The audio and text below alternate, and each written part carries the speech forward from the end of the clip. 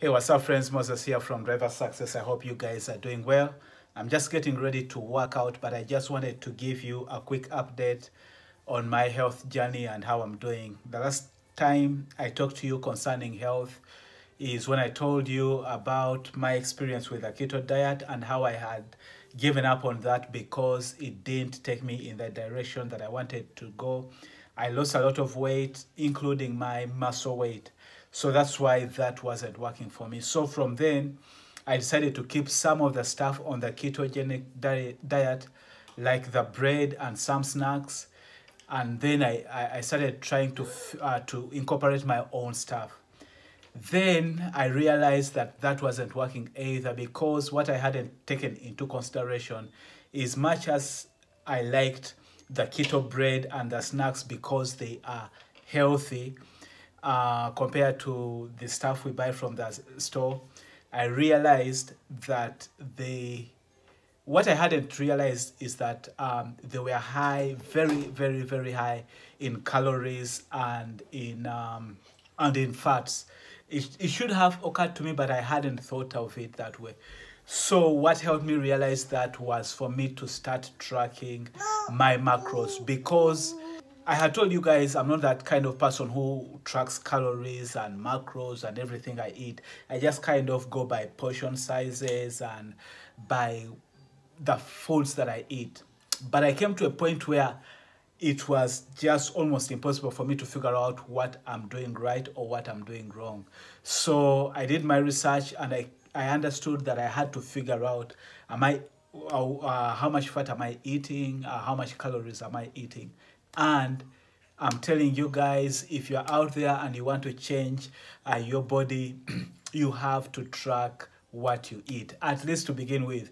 At least for me, um, that's what I did for the first two weeks. And that is helping me a lot because sometimes I was eating stuff without knowing the impact it was having on me. So much as I was eating small portions in other things, when it came to that keto bread, I would eat two slices but those two slices were like uh, there would be actually the fat in them would be more than what I needed for the uh, for my day. And also uh, like the calories would be so high. And yet um, I was eating them in addition to other stuff that I was eating without knowing the impact they were having on my diet. So what I did is I got the MyFitnessPal for those of you that are interested in health stuff, you probably already know about it. For those of you that don't, I want to advise you to pick up MyFitnessPal from the App Store or from the Google Play Store. It's free of charge, but it will help you track your calories and your macros. And that is the number one step. I, I, I always used to think I didn't have to but I now realize you have to, at least to start with, because uh, you want to have an understanding of what you are eating. Sometimes you may think something is so small, it doesn't make an impact, but that small thing may be full of calories. So I use that MyFitnessPal uh, to track my calories, and I, I understood that that so-called um, healthy keto bread, I had to give up that because, again, um, much as I loved I, I loved the bread, it was working against what I wanted to achieve. I was eating all my fats in just two slices, and yet I had to eat uh, other stuff. And then, in addition to that, the calories were so high. So I've been I used that. The other thing that I I used before I had a weight uh, a scale that I would use that would only give you uh, your weight but I came across a scale, I did some research, I came across a scale that would give me more than just my weight. So this scale right here, it's a scale that gives you more than just weight. It gives you things like how much water you have, your body mass, your muscle mass, uh, your protein, your BMI. Like it gives you a lot of other stuff that you need. And um, there, are, there are many of, of, of such scales but this one I found it I, I bought it from Amazon for less than um, $30 I believe. I think it was less than $30 so uh, what I'm gonna do I'm gonna put a link to all this stuff that I'm talking about in a blog post so that you guys that are interested can check them out. The other thing I went uh, there's a website I went on uh, that has like a macro calculator uh, where you can you put in your your gender you put in your height your weight and how much exercise you do and uh, what your goal is whether you want to lose weight gain weight uh, do a body recomposition. And then it gives you how many calories you need to eat and how many of those calories should be like protein uh, should be carbohydrates or should be fat. And so using those three things like the MyFitnessPal this scale here and that website I can see that at least I'm going in the right direction. So uh, for those of you that are really interested, I will link again to this stuff that I'm talking about so that you can get an idea of uh, what uh, you need to do.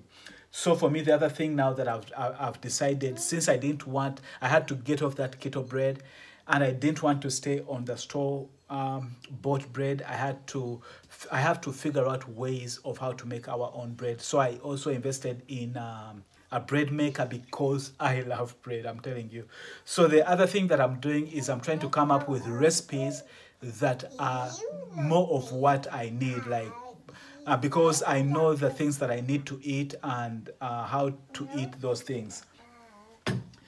So that's what I'm doing. I'm trying to play around with, uh, to understand my macros and also to come up with recipes that support those macro goals that I have. So again, as I said, you guys that are interested, I will leave a link uh, so that you can check that stuff out. But uh, the other thing that I'm going to start doing to help us truck drivers, most of uh, you guys that may be interested in this, because I've had some people who who are saying that I should do more of these videos. I used to do them and then I had stopped. So they want more of like um, videos to do with health. So what I'm gonna do, I'm gonna start um, making videos to show you the things that I eat and how I'm cooking them or baking them uh, to give you an idea in case you guys want to do that too.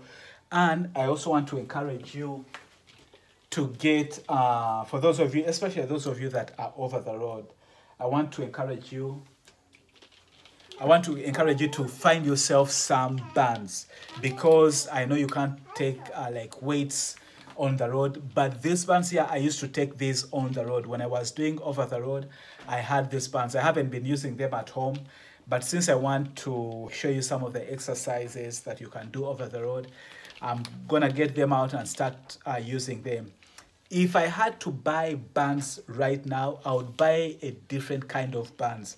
And I will link to those bands that I'm talking about. Like it's a different kind of bands than this. And if these ever break or get spoiled, uh, because this, I'm thinking they are very old. I haven't been using them in a long time. So I don't know if they'll be able to do what I want them to do as we go along.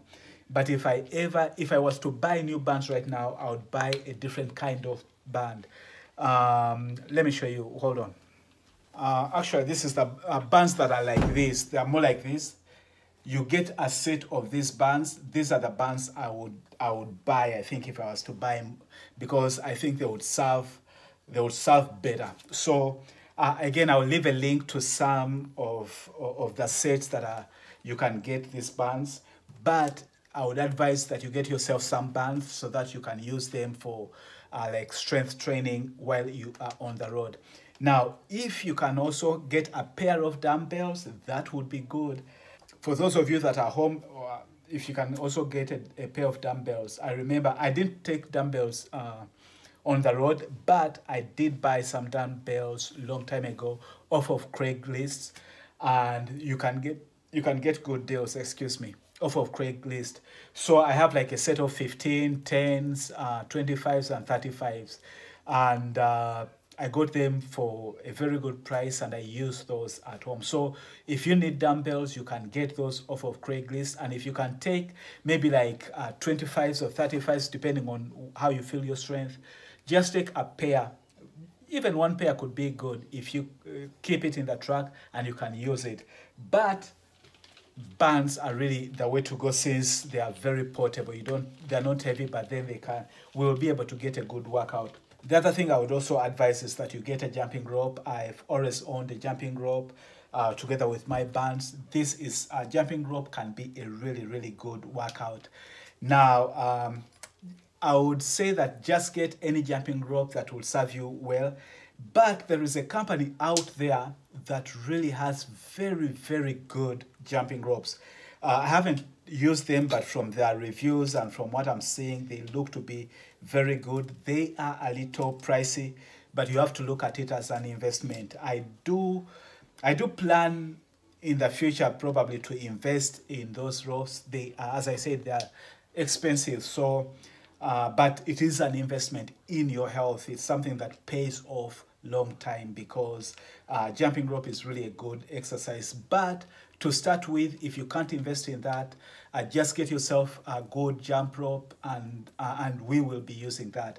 So I think that's it that I just wanted to, to give you an update on that uh, I really changed my view. Now, when it comes to, uh, you know, like stepping on the weight and tracking my macros, I did it to begin with for the first two weeks, but now I don't do it every day because I have an idea of what I'm dealing with.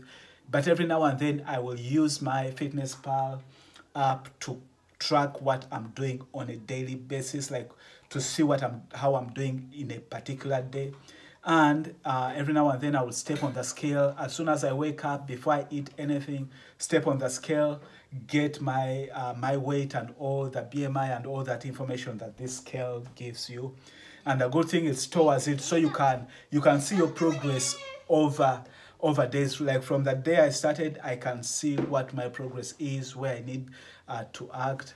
And again, together with MyFitnessPal, you can kind of figure out.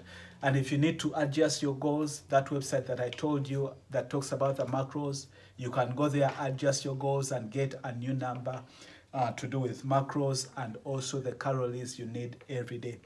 But my my goal is um, to share with you some of the exercises that can help you out. And uh, the idea is to keep them short, something that you can do like maybe in your 30 minute uh, break. Uh, so I'll be just sharing with you ideas and then you guys can also share with me your ideas or what you want us to do and then we can take it from there because I know health is one of the important things that we need to focus on as truck drivers. We sit for a long period of time, especially for those of you that are over the road. You sit for hours and hours, and the food sometimes that you eat uh, is something that can start small and before you know it you end up two years three years wondering what happened to me because you've been making um, bad choices when it comes to eating, not because you want to, but because maybe you didn't plan to. So I just want to give you ideas of how you can plan to stay healthy even when you are on the road by working out, putting in short workouts, but also um, understanding how you are eating and what you are eating uh, depending on what your goal is. But as I told you in the other video, for those of you that just want to lose weight and that is your main goal to start with, I really, um, I love the keto uh, diet when it comes to losing weight. It, if you can do the keto diet together with intermittent fasting, that worked for me really fast to the point that I just didn't want it because I was becoming skinny, and that's not what my goal was. Uh, but the other thing you have to pay attention to if you decide to do that is you have to understand that some people get side effects that are not good in this they feel dizzy some people it just doesn't work for them especially when they're starting out so read up on on it do some research and make sure that if you decide to do it you know what you're dealing with because uh, I didn't get those side effects, but I hear some people lose uh, some of the minerals they need because they are just focused on eating fats and yet they need those minerals. So you have to figure out another way of taking in those minerals. So if that is something that interests you, do some research on it. If you want me to uh, point you in a direction where you can get uh, good research concerning it, let me know. I will give you some links to some of the information that will help you in that. But again, I just want to share with you my journey and hopefully we all can go in a better place when it comes to our health. So I'm just going to go work out right now and I'll catch you in another video. Don't forget to subscribe. Don't forget to share the video. And until then, stay blessed and stay safe. Bye-bye.